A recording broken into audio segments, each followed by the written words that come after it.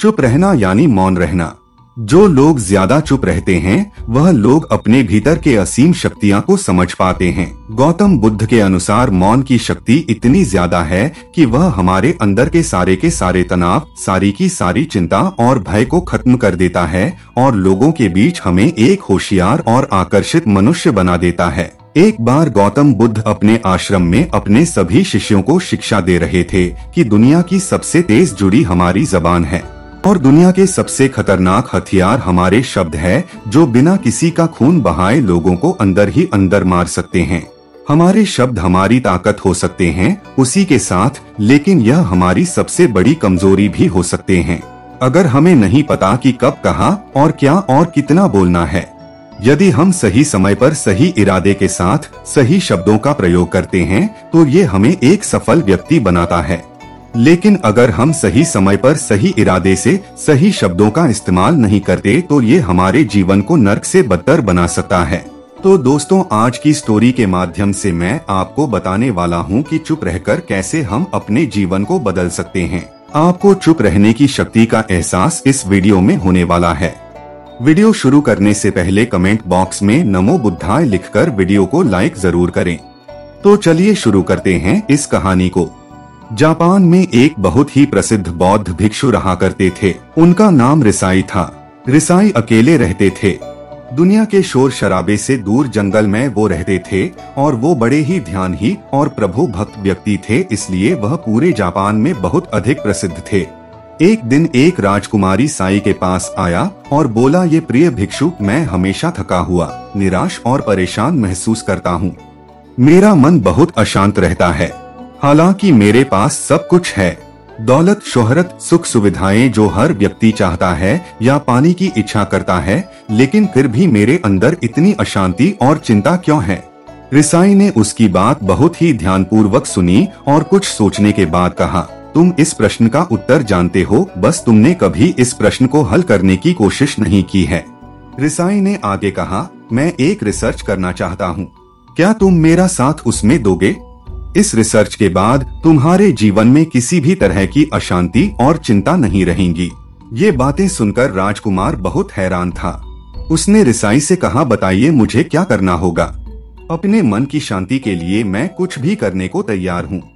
राजकुमार की इन्हीं बातों को सुनकर भिक्षु ने कहा तो फिर आप अगले पंद्रह दिन के लिए मेरे आश्रम में रहोगे और एक सामान्य व्यक्ति की तरह अपना जीवन व्यतीत करोगे और इन पंद्रह दिनों में तुम अकेले और चुपचाप रहोगे।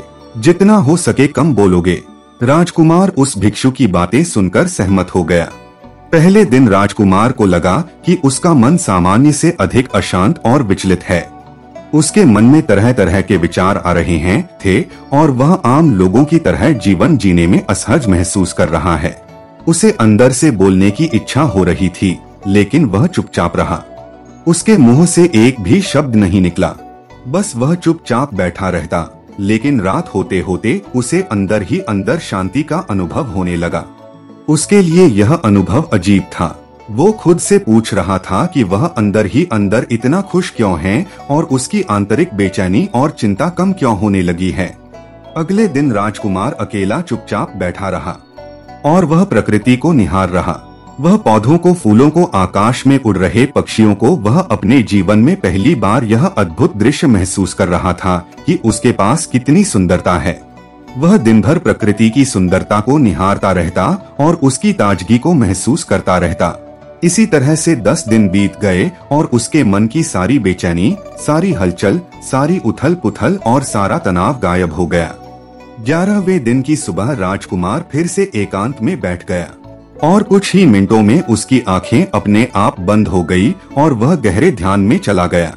वो पूरे दिन वहीं पर आँखें बंद करके बैठा रहा और गहरे ध्यान में डूबा रहा। न कोई शब्द, न कोई चिंता। राजकुमार भीतर से असीम शांति और आनंद से भर गया। राजकुमार अपने बाकी के चार दिन इसी तरह गहरे ध्यान में व्यतीत करने के बाद पंद्रह दिन बाद रिसाई के सामने प्रस्तुत हुआ और रिसाई को प्रणाम करके बोला, प्रिय भिक्षु, मुझे उत्तर मिल गया कि मेरे मन में इतनी उथल पुथल और चिंता क्यों थी? मैं जान गया कि मेरा मन इतना शांत और विचलित क्यों था, रिसाई मुस्कुराते हुए पूछा, बताओ, क्या उत्तर मिला तुम्हें? राजकुमार ने कहा मैं आवश्यकता से अधिक बातें करता था। मैं किसी पर भी अपने शब्द और ऊर्जा व्यर्थ करता था। मैं दिन भर अपने लोगों से फालतू की बातें करता रहता और फिर उन्हीं के बारे में अकेले में सोचता रहता और ज़्यादातर समय नकारात्मक ही सोचता रहता। इस तरह मैं बस अपना समय बर्बाद कर रहा था। ज़्यादा बोलने और नकारात्मक सोचने की वजह से मेरा मन अशांत और बेचैन हो गया था और इसी वजह से मैं किसी भी काम को ठीक से नहीं कर पा रहा था, जिसकी वजह से मैं हर काम में असफल होने लगा। और फिर इन्हीं लगातार मिलने वाली असफलताओं की वजह से ही मैं और भी उदास और चिड़चिड़ा हो गया। इन्हीं सभी चीज़ों की वजह से मेरा जीवन नष्ट हो रहा था, लेकिन यहाँ पर बिताए हुए पंद्रह दिन मेरे लिए पूरी तरह से अलग थे। मुझे कुछ अलग ही एहसास यहाँ पर हो रहा था। अब मुझे ऐसा लग रहा है। मैं अपना जीवन पूरी तरह से जी रहा हूँ, लेकिन इससे पहले मैं अपना जीवन गलत तरीके से जी रहा था और मैंने यह भी सीखा कि हमें सिर्फ़ ध्यान करने की ज़रूरत नहीं है। ध्यान अपने आप होता है। जब हम शांत और मौन होते हैं ध्यान के पिछले कुछ दिनों के दौरान मैंने जो पहली चीज़ सीखी वह यह है कि मनुष्य के जीवन की सबसे महत्वपूर्ण चीज़ स्वयं को जानना ही है। यह सुनकर रिसाई ने कहा, सिर्फ़ तुम ही नहीं, दुनिया में ज़्यादातर लोग ज़रूरत से ज़्यादा बोलते हैं। आज भी लोग ज़्यादातर समय केवल एक दूसरे को नीचा दिखाने के लिए ही बोलते हैं। कुछ लोग ना चाहते हुए भी बातें करते हैं और अपना जीवन बर्बाद कर लेते हैं। रिसाई ने राजकुमार को चुप रहने का महत्व समझाते हुए कहा, एक बार गौतम बुद्ध से उनके शिष्यों ने पूछा, प्रिय बुद्ध, आप ज़्यादातर समय चुप क्यों रहते हैं? बुद्ध ने कहा, क्योंकि चुप रहने से व्यक्ति अंदर से अनंत शांति की गहराइयों में होता है। मौन अपने भीतर उतरने की पहली सीढ़ी है। मौन के बिना स्वयं को जानना असंभव है। स्वयं को जानने और समझने का पहला नियम है कि मौन हो जाओ। उतना ही बोलो जितना अत्यंत आवश्यक हो। बेफिजूल की बातें करना छोड़ दो। तुम अचानक पाओगे कि 90 परसेंट से भी ज़्यादातर लोग व्यर्थ ही ज़्यादा बोलकर अपना समय बर्बाद कर रहे हैं। ना बोलने का कोई भी नुकसान नहीं है। लेकिन यदि आप ज़्यादा बोलते हैं तो आप अत्यधिक गलती कर देते हैं। अगर व्यक्ति कम बोलना शुरू कर दें तो दुनिया की 90 परसेंट मुसीबतें कम हो जाएगी। झगड़े फसाद कम हो जाएँगे। उपद्रव कम हो जाएँगे। अगर लोग थोड़ा चुप रहना सीख लिए, संसार की बहुत सारी समस्याएँ हैं, बहुत सारा उपद्रव सिर्फ़ बोलने से पैदा होते हैं। सारी बात मौन सीखने की है। जब तुम नहीं बोलते, तब तुम एकांत में अकेले हो गए। भरे बाज़ार में, भीड़ में खड़े हो नहीं बोलते। हिमालय के शिखर में पहुँच गए। जिसने मौन की कला जान ली, वो भीड़ में भी अकेले होने की कला जान लेता है। एकांत में तो आदमी स्वर्ग में है, दूसरे की उपस्थिति ही बेचैनी पैदा करती है। पहले तुम्हें चुप रहने की शक्ति को धारण करना होगा। इससे तुम अधिकतर ऊर्जा को बचा लोगे और फिर इस स्थिति में पहुँच जाओगे कि तुम कम बोलने लगोगे। अगर तुम किसी के यहाँ पर जा रहे हो और परेशान हो जाओ तो ऐसे में उचित है कि आँखें बंद कर लो और अपने में खो जाओ। वहाँ से आपको ताजगी महसूस होगी क्योंकि तुम्हारे अंदर ही जीवन का वो स्रोत छिपा हुआ है। और पलटकर कुटिया से बाहर चला गया। उसे चुप रहना बहुत आसान लग रहा था। उसने एक दिन तो जैसे तैसे चुप रहकर काट लिया, लेकिन दूसरे दिन से उसके मन में ना बोलने का बोझ बढ़ने लगा। तीसरे दिन उसे भारीपन महसूस होने लगा और चौथे दिन उसके अंदर एक अजीब सी बेचैनी होने लगी क्योंकि आसपास आश्रम के सभी शिष्य एक दूसरे से बातें कर रहे थे। वह भी अपना पक्ष उनके सामने रखना चाहता था। उनकी बोलती बंद कर देना चाहता था। लेकिन उसका संकल्प उसके आड़े आ रहा था। इसीलिए वह पूरे दिन सिर्फ़ मुँह और आँखें बनाता रहता। इसी तरीके से कुछ दिन और बीते और वह शिष्य बीमार पड़ी एच गया। उसका सिर फटा जा रहा था। उसका खाने पीने तक का मन नहीं कर रहा था।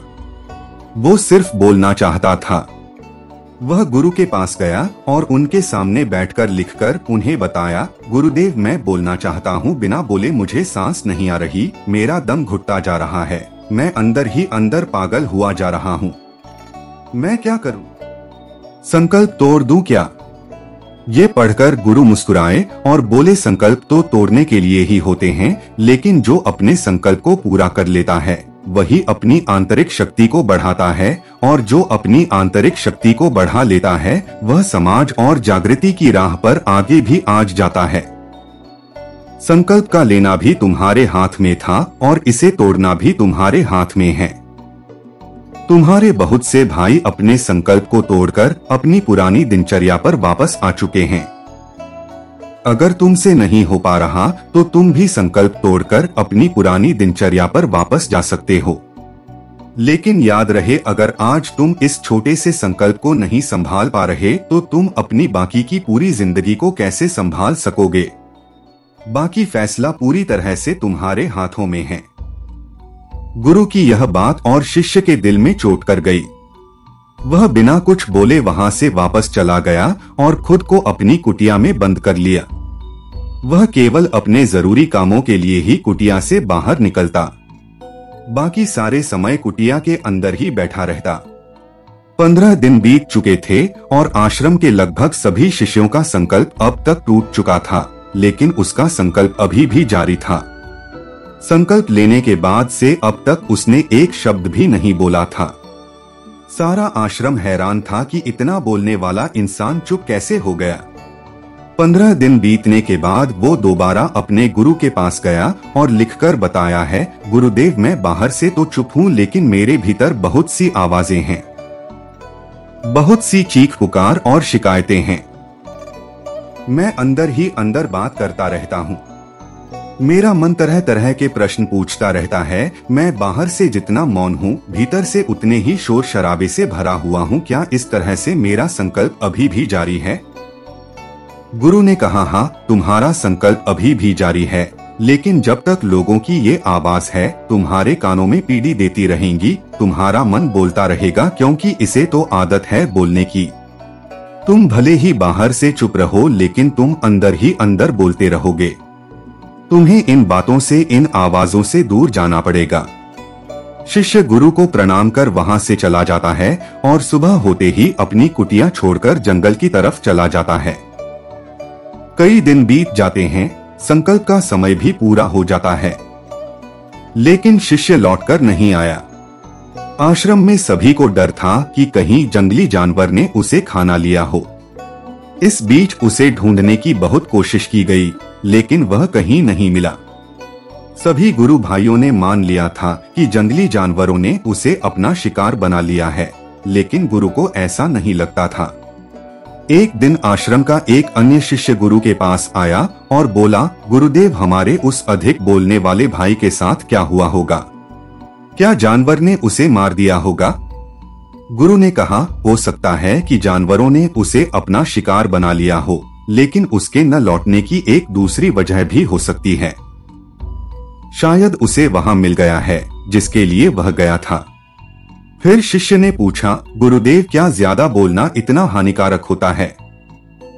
गुरु ने कहा, इंसान के जीवन के बहुत सारे दुखों में से एक दुखी ये भी है, कि वह कभी चुप नहीं रह सकता। हमेशा कुछ ना कुछ बोलता ही रहता है। सिर्फ़ हमारे बोलने के कारण हमारे आधे से ज़्यादा दुख पैदा होते हैं। परिवार के अधिकतर झगड़ों की वजह हमारा बिनतलब बोलना ही होता है। हम में से कोई भी चुप नहीं रहना चाहता। हम बस सामने वाले को सुना देना चाहते। जो भी हमारे मन में है, सब निकालकर उसके मन में बैठा देना चाहते हैं। उसे समझा देना चाहते हैं कि देख तू गलत है और मैं सही और इस तरीके से सब एक दूसरे की सरदर्द ही गली बातों को ग्रहण कर रहे हैं। इस तरीके से सुनने और सुनाने का यह काम ज़िंदगी भर चलता रहता है, लेकिन इस नासमझी में हम अपना समय, अपना जीवन, अपनी समझ और सबसे महत्वपूर्ण व कीमती पल जो जिए जा सकते हैं, जिनको अनुभव किया जा सकता है, जिनमें आनंद को प्राप्त किया जा सकता है ये सब खो देते हैं, लेकिन इसके बदले हमें मिलता क्या है? कुछ नहीं, सब व्यर्थ और बर्बाद हो जाता है। इस पागलपन में हमने क्या खो दिया, इसका एहसास केवल कुछ ही लोगों को हो पाता है। बाकी लोग जैसे उन्हें अपने आने का पता नहीं, वैसे ही उन्हें अपने जाने का भी पता नहीं चल पाता। शिष्य ने कहा तो फिर इसका समाधान क्या है? गुरु ने कहा, पूरी जागरूकता के साथ अपने विचारों को देखना यही एकमात्र तरीका है। सारी मानसिक समस्याओं का वर्तमान में रहकर चिंतन करना पूरी जागरूकता के साथ अपना काम करना ज़िंदगी में चमत्कारिक बदलाव ला देता है। उसके बाद वह शिष्य गुरु से अपने प्रश्नों का उत्तर पाकर उनको प्रणाम करके वहाँ से चला गया। उस शिष्य को आश्रम छोड़कर गए हुए तीन महीने का समय बीत चुका था। लेकिन उसकी कोई खबर न थी। अब तक तो सभी गुरु भाइयों ने भी उसके वापस लौटने की उम्मीद छोड़ दिए। चदी थी, लेकिन एक दिन वह आश्रम लौट आता है। उसे देखकर सभी के आश्चर्य और खुशी का ठिकाना न रहा। लेकिन अब वह वह नहीं था जो यहाँ से गया था। वह कुछ और ही बनकर वापस आया था। उसके अंदर एक गजब का बदलाव महसूस किया जा सकता था। उसके चेहरे पर एक गजब का ठहराव और आँखों में बनी शांति थी। आश्रम में आते ही सभी गुरु भाइयों ने उसे चारों तरफ़ से घेर लिया और बातें करने लग गई। वह भी अपने गुरु भाइयों से बातें करने लगा। उससे बात करने वाले सभी ने यह अनुभव किया कि अब वह पहले जैसा उतावला और बातूनी नहीं रह गया था। उसके मुँह से एक एक शब्द बहुत ही सुलझे हुए और मधुरता के साथ निकल रहे थे। थोड़ी देर तक गुरु भाइयों से बात करने के बाद वह सीधा गुरु की तरफ़ चला गया। उसने गुरु के चरण छुए और कहा, गुरुदेव, क्या मैं अब भी मौन हूँ? क्या आप भी मेरा संकल्प जारी है? गुरु ने कुछ देर तक शिष्य की आँखों में पट्टी ध्यान से देखा और कहा हाँ तुम अब भी मौन हो, तुम्हारे मुँह से एक भी शब्द निकल नहीं रहा और तुम्हारा संकल्प अभी भी जारी है। शिष्य ने कहा, गुरुदेव, जब मैं आश्रम से गया तो मैं मुँह से तो चुप था, लेकिन मेरे अंदर बहुत सी आवाज़ें थी। मन में बहुत से प्रश्न थे और वह बंद नहीं हो रहे थे। तुम्हें जंगल में चला गया। इस उम्मीद से कि वहाँ मुझे शांति मिलेगी और मेरे मन की बकबक कम हो जाएगी। लेकिन मैं जितना एकांत में जाता गया, मेरे अंदर की आवाज़ उतनी ही तेज होती गई। मेरे भीतर की पुरानी से पुरानी आवाज़ मुझे सुनाई देने लगी। तब जाकर मैंने महसूस किया कि मैं कितना गलत कर रहा था। जब मैं अपने परिवार वालों, दोस्तों को और गुरु भाइयों को बुरा भला कहता था, उस समय मुझे लगता था कि मैं सही कह रहा हूँ। जब मैं गुरु भाइयों की एक दूसरे से चुगली करता था और उनका मज़ाक बना था, तब भी मुझे यही लगता था कि मैं उनसे बेहतर हो और मैं सही कर रहा हूँ। लेकिन उस दिन मैंने पहली बार महसूस किया कि मैं कितना गलत बोलता था। काफ़ी दिनों तक यह आवाज़ें, यह शिकायतें मेरे अंदर चलती रही, लेकिन धीरे धीरे करके एक दिन ये सारी आवाज़ें मेरे अंदर से समाप्त हो गई। अब मैं भीतर से भी मौन हो गया। उस घने जंगल में बाहर से कोई बोलने वाला था नहीं। और भीतर कोई आवाज़ बची ही नहीं थी, और मैं उस दिन पहली बार मौन का सही अर्थ समझा। मेरे चारों तरफ़ बहुत शांति थी। हालाँकि अभी भी कुछ आवाज़ें आ रही थी जो पहले भी आती थी, लेकिन मैं उन्हें सुन नहीं पाता था। पर अब वह सभी आवाज़ें मुझे स्पष्ट रूप से सुनाई दे रही थी। हवा के चलने की आवाज़, चिड़ियों के चहकने की आवाज़ और पानी के बहने की आवाज़, ये सभी आवाज़ें मैंने पहली बार पूरे होशपूर्वक सुनी। अपने चारों तरफ़ इतनी शांति मैंने पहले कभी महसूस नहीं की थी तो इस शांति को भंग करने के लिए मैंने पहली बार अपने मुँह से कोई शब्द निकाला। मैं चिल्लाया कि ईश्वर, ये कैसी शांति है? सभी कुछ इतना शांत क्यों है? ऐसा क्या हो गया? लेकिन मेरे चिल्लाने के बाद भी शांति भंग नहीं हुई। सब कुछ पहले जितना ही शांत था। बाहर भी और भीतर भी खेल गुरुदेव, मैंने अपने गुरु भाइयों से बात की, मैंने आपसे बात की, मैं बोल रहा हूँ, मैं चल रहा हूँ। मैं सब कुछ देख रहा हूँ। लेकिन मैं अपने भीतर एकदम एकांत में हूँ, मौन में हूँ, भीड़ बैच में होता हूँ, तब भी भीतर से अकेला एकांत में होता हूँ। जब मैं खुद मैं भी शुर करना चाहता हूँ, तब भी एकांत में ही होता हूँ। अब सब दिखाई पड़ी रहने लगा है, सब सुनाई पड़ी रहने लगा है। गुरु ने कहा, जब तक हम बाहर की तरफ़ बोलते रहेंगे, भीतर अशांति ही रहेंगी।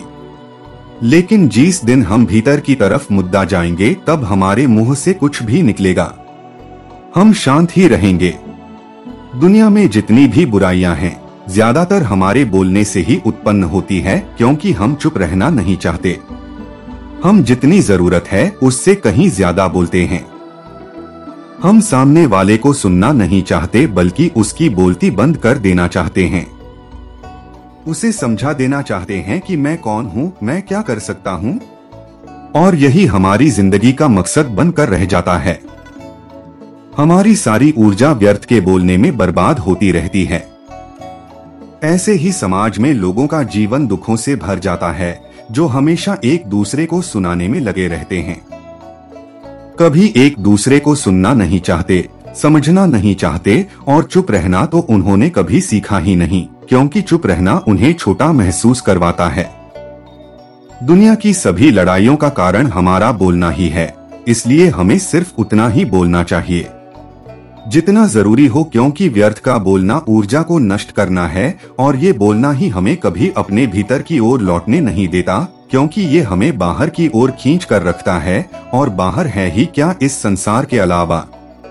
लेकिन अगर अपने भीतर के संसार की ओर मोड़ना है तो इस मुँह को बंद ही रखना चाहिए। इसीलिए जितने भी बुद्ध हुए, आत्मज्ञानी हुए, वह सभी एकांत की ओर भागे ताकि उन्हें ज़्यादा ना बोलना, ज़्यादा सुनना ना पाड़ी वह एकांत में रहें और शांत रहें, इसीलिए आसानी से भीतर की यात्रा कर पाए। लेकिन अगर कोई चाहे तो इस संसार में रहकर भी एकांत में रह सकता है, शांत रह सकता है। लेकिन इसके लिए उन्हें अपनी ऊर्जा बचानी होगी, जिसे वह अब तक अपने व्यर्थ के शब्दों में बर्बाद कर रहे थे। दोस्तों, इस कहानी की सीख यही है कि व्यर्थ का बोलना ऊर्जा को नष्ट करना है। ज़्यादा और व्यर्थ बोलना ही हमें अपने भीतर की ओर लौटने नहीं देता, क्योंकि यह हमें बाहर की ओर झुकाए रखता है। और जिन्हें भीतर की यात्रा करनी है, उन्हें अपने मुँह को बंद ही रखना चाहिए। मुझे उम्मीद है कि आपको यह कहानी पसंद आई होगी और काफ़ी कुछ सीखने को मिला होगा। कहानी के बारे में अपने विचार आप हमें नीचे कमेंट बॉक्स में कमेंट करके बता सकते हैं। नमो बुद्धाय।